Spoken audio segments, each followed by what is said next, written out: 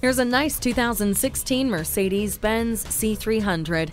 It offers a turbocharged engine, rain-sensing wipers, keyless entry, and climate control.